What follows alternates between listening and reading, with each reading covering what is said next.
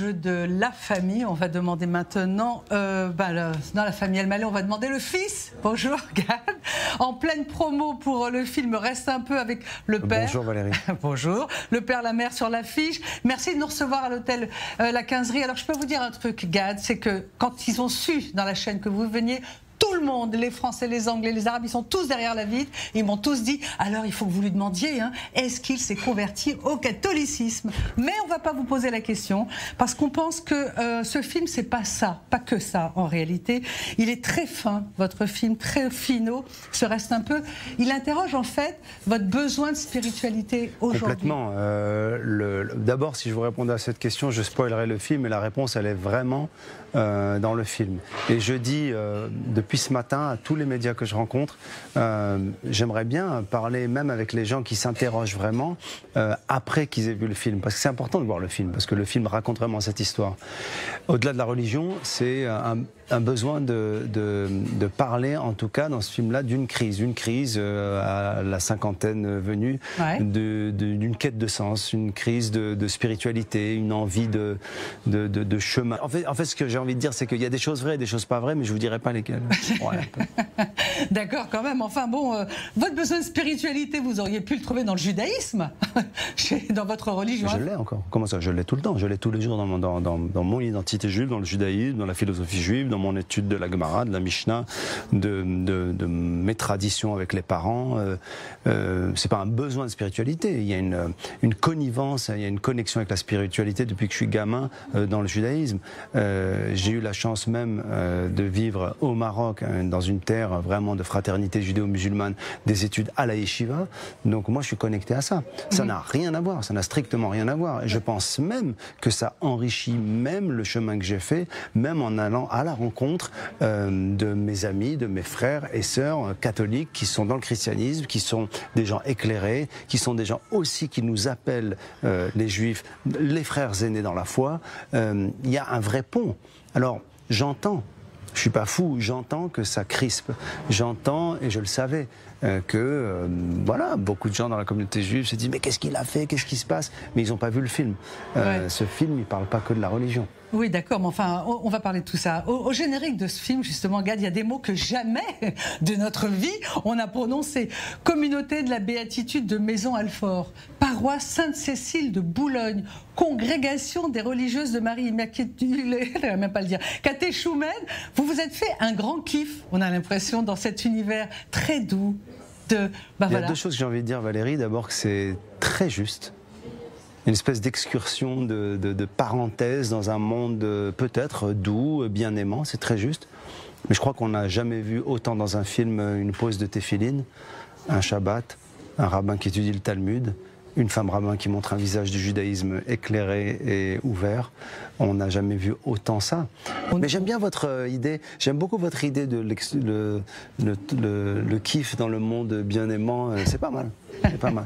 Eh ben merci Gad, ça c'est gentil de nous dire ça. Donc, après euh, Chouchou, après Coco Abdel Razak, voici Frère Gad. ok. Ok.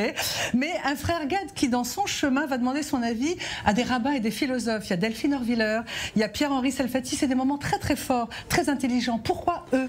En fait, j'avais envie que sur ce chemin, euh, sur cette quête, la pensée juive aussi soit présente. Alors je vais voir les prêtres, je vais voir le prêtre, le père Barthélemy. Je tiens à rappeler que chaque personnage de ce film est joué par les vraies personnes hein, dans la vie. C'est-à-dire que Delphine Orviller, bon, vous la connaissez, on ne la présente plus. Euh, euh, Pierre-Henri Salfati, il enseigne le Talmud. La sœur dont vous parliez tout à l'heure au, générique. Tout ça, ce sont des gens qui jouent leur propre rôle. Donc je leur demande à chacun, non pas leur avis, mais un peu des lumières en tout cas pour pouvoir être éclairé sur ce chemin. Et j'adore la scène de mon père et le rabbin, euh, quand mon père arrive et qu'il est complètement, euh, qu'il est déprimé, qu'il est en pleine détresse et que c'est le séisme dans la famille et qu'il dit Rabbi, j'ai un problème, notre fils est amoureux de la Sainte Vierge. Et l'autre lui dit Et alors, elle est belle, elle est juive, il cherche le divin. Il y a une dédramatisation comique. Et c'est ça en fait que les gens ne, ne- ne perçoivent pas, c'est qu'il s'agit d'un film aussi avec de la comédie, avec de la légèreté, avec de la folie, avec de la fraîcheur, avec de l'amour. Donc, il faut voir le film, il faut pas se braquer avant. Dieu aime beaucoup les convertis car ils ont abandonné leur famille et leur maison pour s'approcher de lui. C'est pas, pas de moi, on a euh, lu ça dans un commentaire du Bad Midmar, le quatrième livre de la Torah. Vous auriez pu vous convertir à l'islam quand même. C'est ce que dit. Euh, c'est vrai, c'est ce que dit euh, l'ami d'enfance dans le, dans, le film. Mais je crois que c'est pas vrai en fait ce qu'il dit. Et c'est pas vrai que c'est simple. Et c'est pas vrai que ça aurait été. Et c'est là encore une fois qu'on a une, une, confusion sur la culture arabe et sur l'islam. Il faut pas tout confondre. Après, encore une fois, je le répète, et je profite d'être sur euh, I24 euh, pour en parler parce que c'est quand même un média qui est un modèle aussi de fraternité en respectant la complexité de, de, cette fraternité et de ce, cette, de ce dialogue interreligieux, intercommunautaire. Euh, le modèle marocain de fraternité judéo-musulman, il est unique au monde. Il n'existe nulle part ailleurs. Alors, il plaît pas beaucoup à certains extrêmes. Et juifs et musulmans, ça leur plaît pas beaucoup. Ils pensent que non, c'est. Et moi, j'aime rajouter à ça une chose quand ils disent ouais, tu crois que c'était tout, rose et tout. Je dis non, mais c'était complexe. Oui, c'était, oui, c'est encore complexe. Mais au moins, on est dans la vérité et on se connaît. D'ailleurs, si en France on ne parle pas de religion et qu'on veut faire du vivre ensemble, c'est bien beau, c'est parce qu'on ne se connaît pas. Moi non, j'ai envie de parler de spiritualité, de foi, de religion, euh, avec ou sans Dieu, ou avec votre Dieu tel que vous le concevez. On est libre là-dedans. Et moi, je dois de compte à personne. Oui, d'accord, euh, Gad. Mais depuis quelques jours, quand même, vous avez sans doute vu passer des blagues, des détournements et beaucoup, beaucoup d'insultes sur votre cas. Il y a des juifs qui vous en veulent, qui vous engueulent, qui veulent vous boycotter. C'est un grand péché. Qu'est-ce qu'il a fait, Gad? Qu'est-ce qu'il a fait? Vous comprenez ça? Qu'est-ce que, qu'est-ce que vous dites à ça? Quelle est votre réaction? Je crois qu'il faut être honnête avec ça, c'est-à-dire que je ne peux pas dire que je suis complètement étonné ou ah bon, je m'attendais pas à ça, c'est pas vrai. Euh, moi, j'ai fait ce film en mon âme et conscience. Euh, j'ai 51 ans, je suis metteur en scène, je suis artiste avant tout, et en effet, j'appréhendais ou alors je me doutais que forcément il y aurait des réactions euh, qui seraient pas très favorables et qui seraient pas très encourageantes. Après, moi, je pense que j'ai pas envie d'englober euh, toute la communauté juive euh, euh, dans, ces commentaires ou ces insultes ou cette haine. C'est pas vrai, il faut arrêter. Il n'y a pas de raison que sur d'autres thématiques, on dise non, c'est les réseaux sociaux, il y a des fous, il y a des extrêmes, et sur cette thématique, on ne dise pas qu'il y en a. Il y en a aussi. Et il y a de la haine, et, il y a des gens qui veulent créer le buzz. Moi, ce qui me plaît, c'est l'humour. Moi, ce qui me plaît, c'est ce que fait Joubuzz. Euh, moi, ce qui me plaît, c'est ce que font mes amis qui me charrient depuis que je suis petit. Euh, voilà, moi, euh, quand, quand, mes amis d'enfance et vous, quand mes amis d'enfance me disent Massaltov pour la conversion, je trouve que cette phrase, elle est folle. Et d'abord, c'est pas vrai. Et puis, et puis en même temps, je, je, je, me dis qu'il y a la place, en tout cas pour nous, euh, de pouvoir on est libre en fait, on est libre. Enfin, écoutez, c'est un film qu'il faut le dire, hein, qui mélange vraiment la fiction et la réalité. Il y a des vraies sœurs, il y a des, faux, frères, exactement. Il y a des vrais acteurs, des vrais religieux. Tout est mélangé, c'est très habile comme procédé. Après tout, vous savez, la littérature le fait dans l'autofiction, et vous, vous le faites au cinéma, c'est de l'autofiction à la marocaine on va dire. Euh, qu'est-ce qui reste un peu, Gad? Parce que l'affiche est assez belle. C'est quoi? C'est reste, reste un peu, c'est la phrase mélancolique que tous les enfants, euh, juifs ou pas juifs, ont entendu de leur mère. Au moment où ils doivent partir, euh, du domicile, euh, même pendant un déjeuner, pendant un dîner, pendant voilà, c'est cette petite phrase avec pudeur euh, qui dit euh, finalement le un peu, c'est pour dire j'ai bien conscience que tu as une vie, mais reste, reste connecté à nous. Et là, le reste un peu, c'est reste avec nous, parce que les parents ont l'impression de perdre leur enfant. C'est une catastrophe. C'est-à-dire que ce que les gens disent en ce moment dans leur polémique sur les réseaux sociaux, ce qu'ils ne savent pas, c'est que moi, ils m'apprennent rien. Moi, je, ce qu'ils ne savent pas, c'est que dans mon film, leur voix leur voix de t'es un fou, il faut pas faire ça, c'est grave. Mes parents le disent dans le film. C'est-à-dire qu'elle est présente, cette voix. Donc ça m'est pas étranger. Donc je sais de quoi ils parlent. Et reste un peu, c'est reste avec nous. C'est ce que me dit ma mère.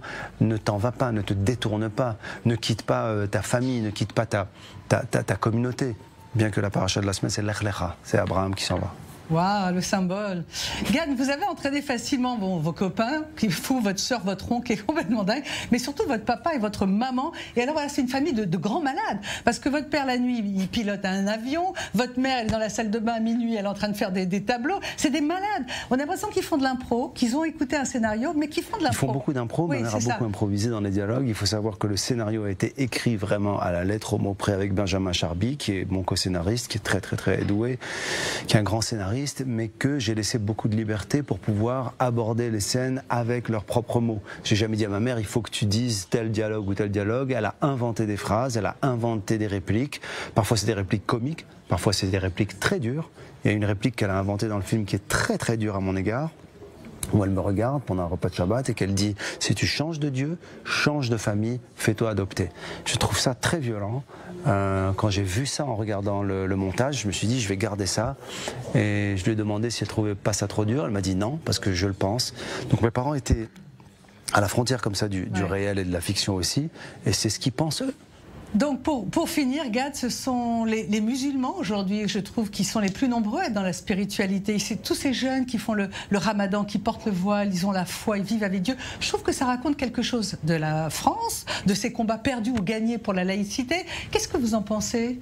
Est-ce que c'est Moi, je pense que, alors, pour, voir un petit peu comment ça se passe, comment les jeunes évoluent, en ce moment, je fais des rencontres beaucoup.